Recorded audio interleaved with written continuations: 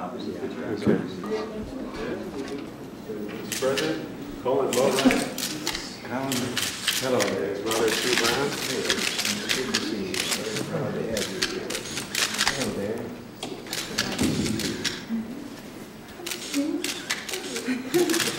Listen, I hope everyone here knows what you did. Two hundred and twenty pounds, six feet three. And you with a stick. Did you know the little girl that you rescued? When she came up the house, I knew who she was. But you didn't know before you went in, you, you just saw it happen. Well, it was just great, as I told you on the phone. Not a lot of people feel very good.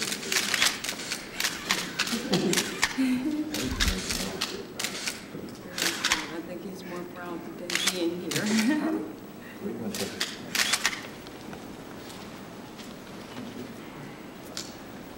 This is, this is not, remember, it's just a, well, it's, please remember your visit here, it's a presidential seal, and and you can use it to hold some papers down.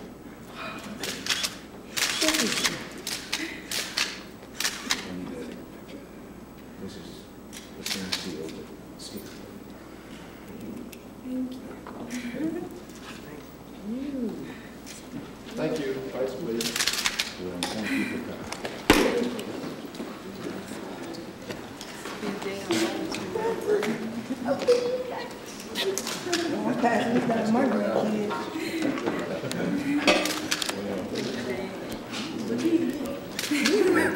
Is you real president, first of all? Are you real president? You sure? The last I heard, I was. How about you? Still don't believe it. Well, this is, this is the Oval Office. All, all takes place. That desk, quite a few presidents have sat there. That desk was once uh, a ship. Many, many years ago, uh, it was a- an English warship in the days of sailing vessels, and it had gone up into the Arctic to rescue some explorers it got trapped in the ice. Some years later, an American whaling captain with his ship found it and brought it out, and our country fixed it all up and delivered it back to England. And some years later, when the ship was decommissioned, the Queen Victoria of England had their craftsmen carve that from the planks of that ship and deliver it here uh, to the President of the United States. So we kind of had to put another little layer around there. I don't think people were as big in those days, but now I have trouble getting my knees under it. So we raised it a little bit. Well, listen, it's awfully good of you to come here. I'm very pleased to see you. I still believe I'm here. That's why I needed that to remind you that you've been here. I'm passing this down to my grandkids and tell them if they lose, I'm coming home. You want to know something? Sometimes I don't believe I'm here. All right, great. Well, bye. Thank you very much for coming. I ain't washing his hands. First lady come over us. I certainly will. Thank I'm kind of alone right now. She's, they had a dinner for her in California last night, for her work with regard to drugs.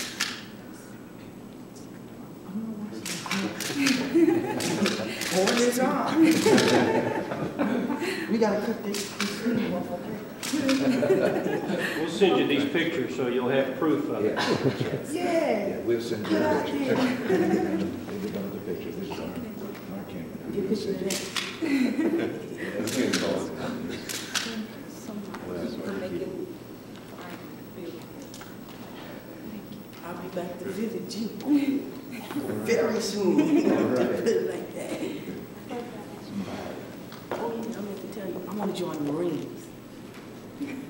great. That's great. We'll introduce you to Pete Peterson, the Marine aide to the President, who's right out here. Yes, sir. Yes, right here it is. Like, That's over there with Bamholzer.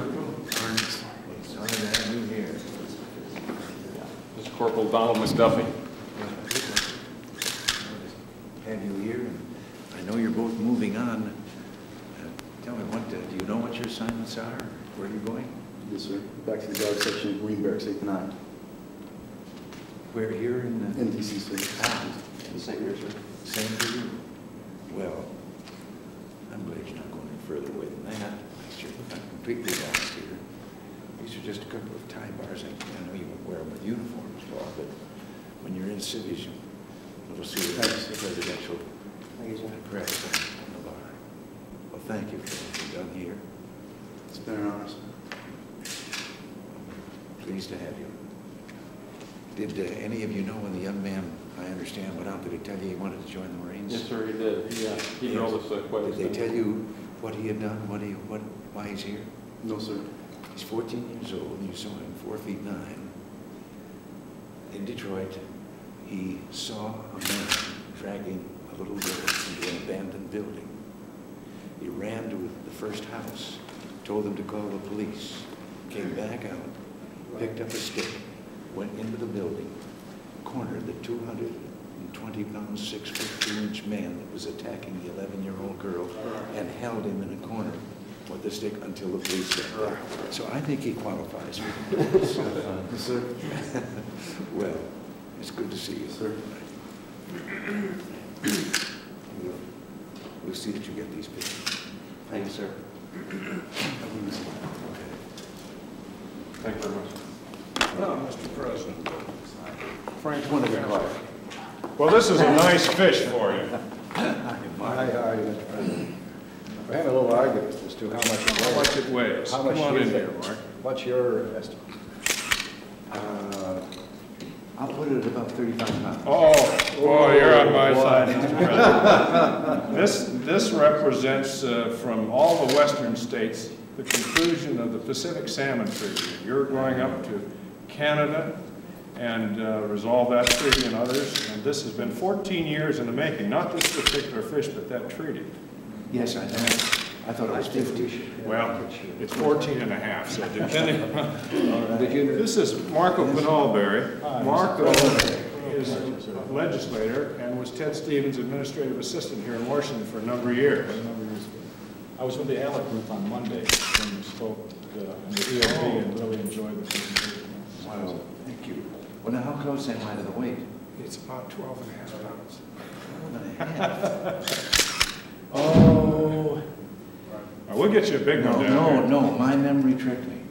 I thought I was coming close, but no, now I remember that the fish I caught holding on here, trying to reach the, the tail to- to the floor, I caught, first time ever salmon fishing, in fact, turned out to be the only time so far. Um, First time, and it proved that beginner's luck. Beginner's luck works. I caught a 54 pound Is that right? salmon, and said I was remembering it as a little bit bigger than this, so I thought. Yeah, well, it was bigger than that. Yeah, it was. Now that I remember, holding it out here, it, it touched the, about here? uh, About here? no, I think, I think it was about this length. That's here. about right. About, uh, about to your elbow would be a 50, 55 pounder, but this is a little smaller than that because it's the first one of the season. A little later in the season will be 50 pounds, Mr. President. I caught mine uh, offshore, Offshore. when they were uh, out off the mouth of the river when they were getting ready to. What you want to do, do is find out who baited your hook too, because that's a real trick to catching a fish that big. My wife always baits mine, Nancy. And it's in in executive session, formally passed the uh, treaty on March uh, 7th, of 19. So, great pleasure on behalf of all our colleagues on the West Coast. We- We're very appreciative and look forward to that working out very well in Well, Canada. it's going to, yes, it's going to help the trip very much. Thank you for the opportunity. Well, this, you for coming down here. I just wanted to give you a little letter from our delegation and our governor. We felt that since you've extended an invitation for the summit meeting, that perhaps you're looking for some neutral ground. And we thought Alaska might offer that neutral ground in as much as it's halfway. It used to belong to the Soviets. We have the security and the facilities, so we uh, are among the first to extend a a possible location for the summit meeting in the United Well, he said that he wouldn't even ask for Alaska back. He told you. That's a good start then. So that's what that letter is, and I wanted to present it on behalf of all Alaskans, Yeah. and we would You will like. forgive me if I say that if we accept that gracious invitation here, we'll have to see that the meeting is scheduled in the summer. I understand, well, I, we have hot water in the house now, Mr. President, so we're all set. Thanks. Could I shift a subject and ask if you hired on the young man, the 12-year-old that you said you were going to hire to help you do some of your work here, who took that stick and held the guy? Oh, yeah, I saw him out here coming Yes, in. he's 14. Yeah, 14. I Or was grown wrong. at the I thought it was 14, and his, the victim that he saved, the little girl, was 11. in that. But the guy that he held at bay in the building with just a stick The day you was uh, six had- feet two and 220 pounds. The day you had our, the meeting down here on, with uh, Cap Weinberger and George Shultz, and you made a few remarks, you said you had to go make a telephone call, you were going to try to hire him on. I saw him here today, and I thought maybe you'd sign him up. Let me tell you, uh, I think he do. He is a very self-possessed young man. That's wonderful of you to take the time to, to give that kind of uh, honor to those young Imagine the courage, not only the courage, but the presence of mind. He saw it happen, saw him dragging the girl in, ran first to a house, told him to call the police, then ran back to the building, picked up the stick and... Did you see him on television when the news commentator asked him how he felt? And he smiled, he said, "Oh, I feel so good." Thank you, Mr. President. Thank you, Mr. President. And with him is his wife and his daughter, and the president of the Federal Managers Association. I think that'd be nice to give uh, Mr. Scoppy and the president of the association cufflinks, his wife the stick pin, and his daughter the charm. All right. And there'll be one photographer in here with the president.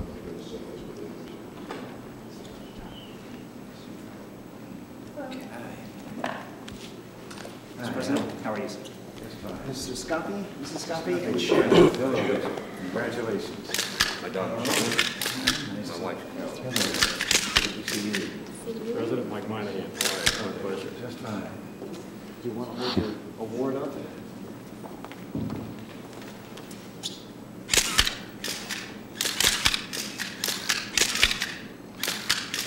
Thank you. Thank you. Congratulations.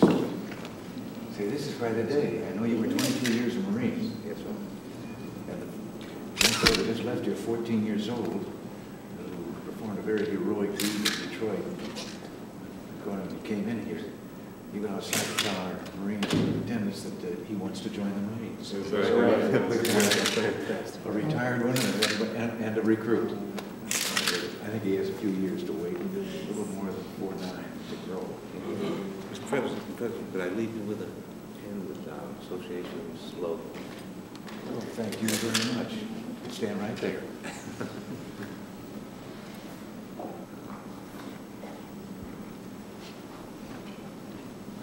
Pair of presidential seal. Oh, thank you, sir. You can stick oh, the presidential seal. In case you do have a charm bracelet, there's presidential seal. Mr. President, it was Shannon's birthday yesterday. so Yeah. she's just- It is, well, happy It's eleven. birthday. Yeah. How many does that make? Eleven. See, you can still ask a lady your age. up to a certain- Well, well, congratulations. Thank you. Thank you for all that you've done. Thank you, Mr. President.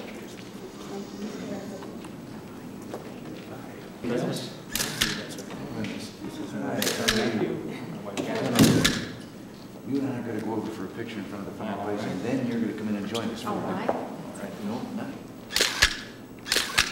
Thank you. We don't have any ranches around Chicago. No, but it's not that, far. it's closer to the, uh, to uh, Santa Barbara, so we'll be able to get out that way, I think. Okay. Come in. I think we, two in the middle. It'll be-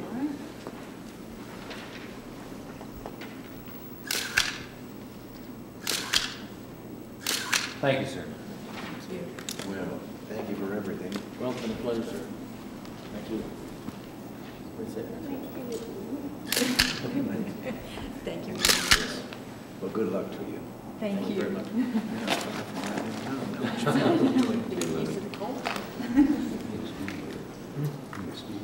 Mr. President, Dave Reynolds and his family. Yes, hi, Dave. Dave Dave, David. My wife, Jean, See you. and my son, Adam. Hang on there. Well, you and I are going over in front of the fireplace for a picture, and then you two will kind of join us for the second picture. Okay. All right? Be too forward. Great. All right.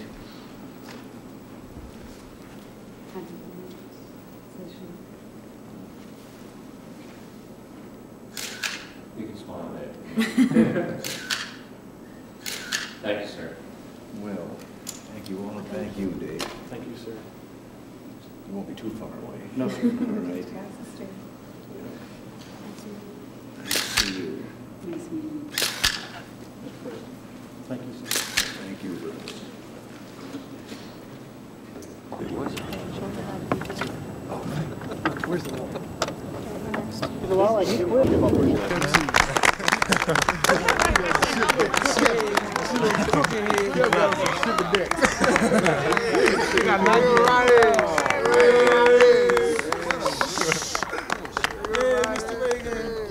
Gap man. Gap in your teeth. Gonna shake your hand. Ah. Oh, man. I don't stop I went to school at the wrong time. In my day, cheerleaders were all fellas. He's on. Oh,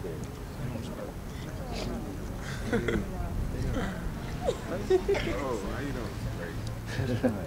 Okay. Sherman Douglas, Randy Young. You. I try to break clap. I try to break hand. Yeah. You you, break my hand. makes you stand around out here all this time. It's the press over there that we've got to get organized so we can do things. The way I see it, there's no more fitting way to mark the coming of St. Patrick's Day than by greeting the Green Wave. So, welcome to the White House, all of you. Well, we're very happy to see and meet our champions, the members of the City High School Basketball Championship Team of 1985. And we congratulate you. And I can tell you that I know a little more about your victory than you think I do. I've heard about how Anthony Duckett, Manuel Jones, and Ernest Hall got together to control the boards. And I know that Robert Smith played with the flu. And I know that Sherman Douglas got 14 points. And I know Melvin Middleton played in spite of an injury that he received in the first play of the game. And I know that you faced a really strong and fine team in DeMatha. Do I have the name right on that? You're right. All right. And that you had to work hard to win. I know all this because Kathy Reed, the wife of Joe Reed, your English teacher, is an assistant to Don Regan here in the White House.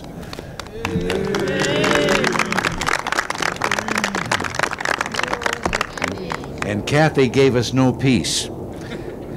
We couldn't get any work done in the White House until Spingarn won. So believe me, on behalf of a grateful nation, I thank you. We really are proud of you and of all the people who've helped you. I think you ought to be proud of your coach, John Wood, who himself graduated from Spingarn. And I hope you thank your assistant coach, Robert Burrell. This ceremony is part of a plot to wean him from his lollipops. We're going, we're going to get him on jelly beans. and I appreciate or congratulate your principal, Clemmy Strayhorn. You know, the past few years, the Spingarn Concert Choir has sung at the White House during Christmas tours. And the graduates of Spingarn include Michael Graham and Elgin Baylor, Earl Jones, and Dave Bing. That's quite a powerhouse that you've been running, Clemmy. Spingarn has brought honor to this city. And even though Nancy and I came here just a few years ago, we liked it enough to ask for a few more, as you know. We feel like citizens or members of the city of Washington, and we personally feel that you've done us all proud here in this city. So thanks, and God bless to all of you, and thank you for coming by to say hello.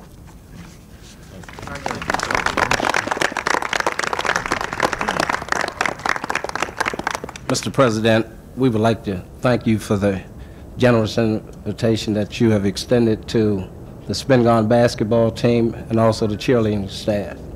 At this particular time, we would like for you to sign a basketball for us, and we will treasure it, this basketball, uh, for a great deal of time. Any place in particular around here? I've got a pen. That'll be fine, wherever your signature, wherever you put it.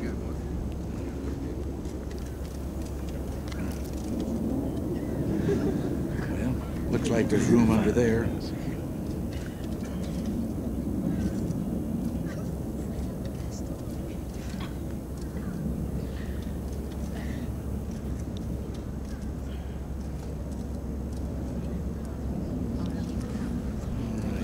There it is. Also, Mr. President, we would like to give to you something we would like for you to cherish, a picture of the Spingarn basketball team, Oh, thank you very much. and also, we would like for you to have a basketball, uh, the basketball that we used to beat DeMatha, and we are extending that to you. Thank you. You mean...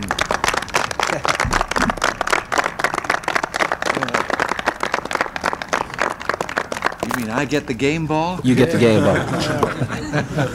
Well, thank you very much. Thank you. Well, Very pleased, all of this, and to have this picture. This is a beautiful picture. Isn't that the Lincoln Memorial? behind Yes, it you? is. Well, that's great. It exemplifies ac- academic excellence. Well, I'm glad to hear that that goes along with the basketball championship, too. That's fine. I'm, I must say, I'm, I'm glad there's still some here that are along about my height, but uh, you all are growing bigger these days. but uh, pleased to have you all come down.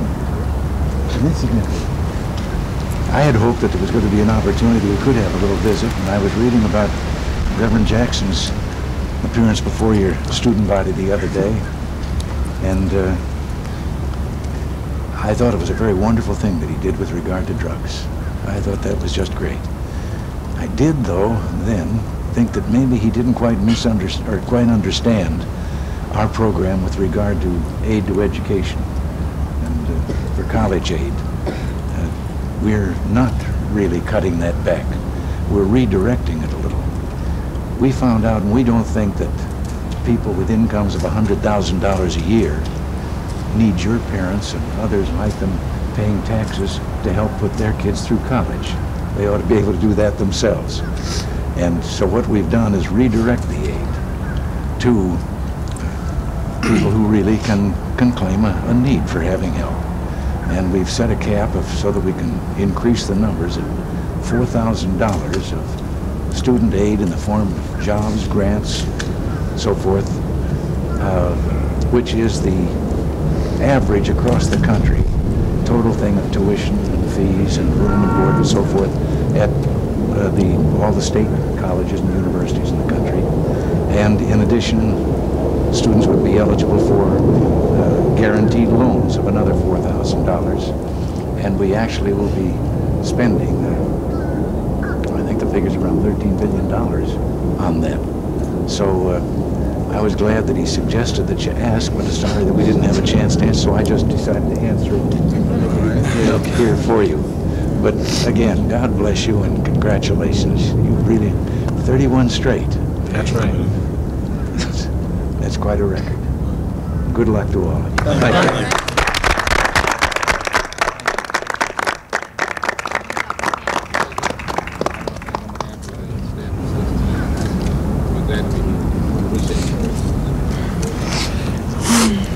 Thank you. Well, we just leave your ass.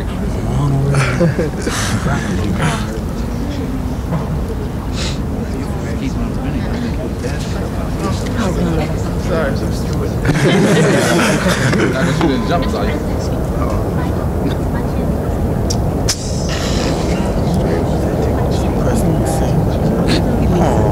Oh my God! Don't do a team. Go ahead,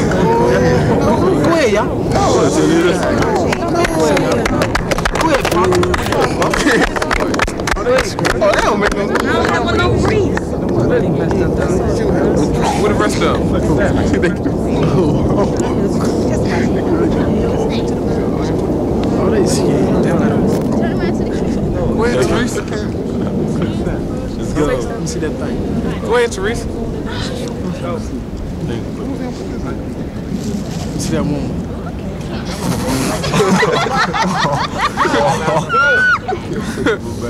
Come on, go. Okay. Okay. Okay. Okay.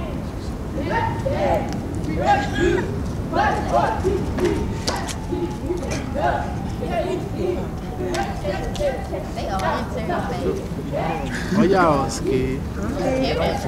Why y'all ain't tell T? They ain't got no bricks. Oh, y'all ain't got no draw? Huh, I got some. got some boxes. Him looking all round. Yay! That's all. Damn, get your bags.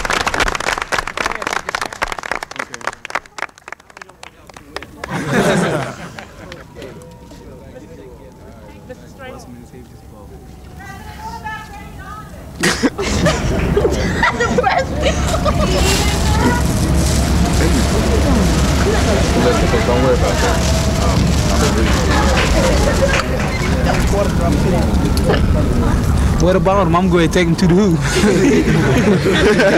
Tell Ray Donovan meet me that rose there.